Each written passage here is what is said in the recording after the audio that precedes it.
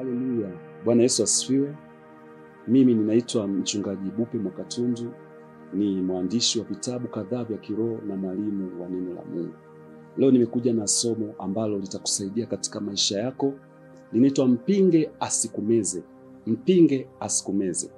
Ukisoma katika waraka kwanza wa Petro tano mstari wa nane na wa tisa, maandiko yanasema mwe na kiasi na kukesha, kwa kuwa mshtaki wenu Ibilisi kama simba ngurumaye huzungukazunguka akitafuta mtu ammeze.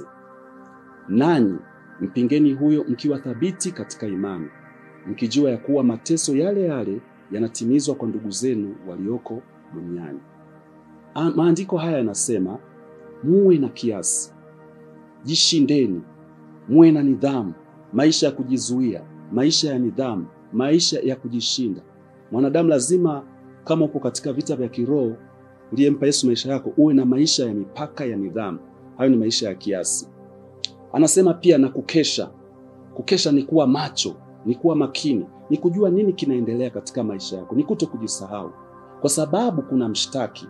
Huyu mshtaki tafsiri yake ni adui, ni mchongezi ambaye amekusudia mabaya katika maisha yetu, anaitwa Ibilisi. Anazunguka zunguka, anakuwa karibu na wewe wakati wote, akitafuta nafasi akumeze.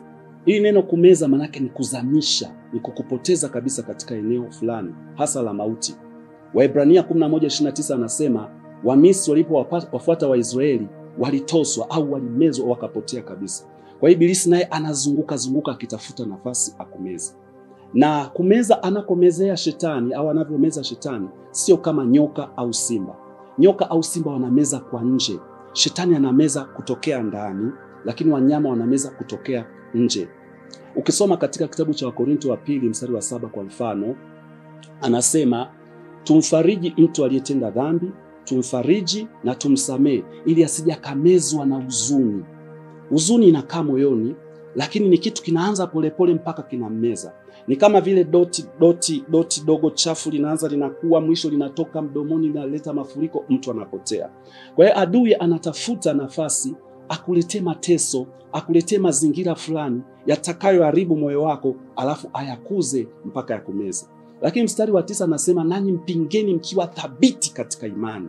Pingeni hivyo vitu ambavyo vinapandwa ndani polepole kutokana na mateso na mazingira, kwa imani, kwa kusema neno la Mungu. Usikae kimya. Ukisoma katika Zaburi 42 mstari wa tano, Daudi alikuwa anasema, nafsi yangu, kwa nini kuinama? Kwa nini kuinama ndani yangu eh? Mtukuze Mungu, mshangilie Mungu, mwimbie Mungu. Haleluya! Kwa hiyo jisemeshe nafsi yako, usiruhusu kitu chochote ndani kikuwe mpaka kikakumeza. Kuto kusamehe kunaongea ndani, kunakuwa unakuachia tu. Kusemeshe, kwambie Yesu Kristo alibeba makosa yote na dhambi zote pamoja na hii niliyokosewa. Haleluya!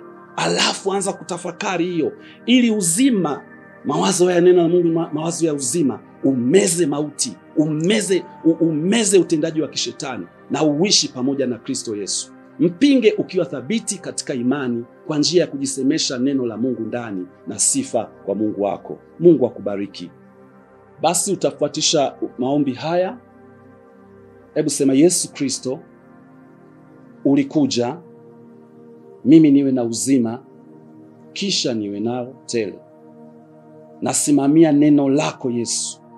Yohana 14:27 inasema amani yako umeniachia, amani yako umenipa. Neno hili nitajisemesha moyoni mwangu, adui anapoleta mawazo ya huzuni, ya kiburi, ya wivu, ili kuyakuza yanimeze. Asante Bwana, kwa neno lako linashinda mazingira yangu yote. Sitamezwa na adui, sitamruhusu animeze. Nitampinga wakati wote kwa imani, nikiwa thabiti katika imani ya neno lako. Moyo wangu utatamka neno lako katika mawazo na katika kinywa, katika jina la Yesu Kristo, amen.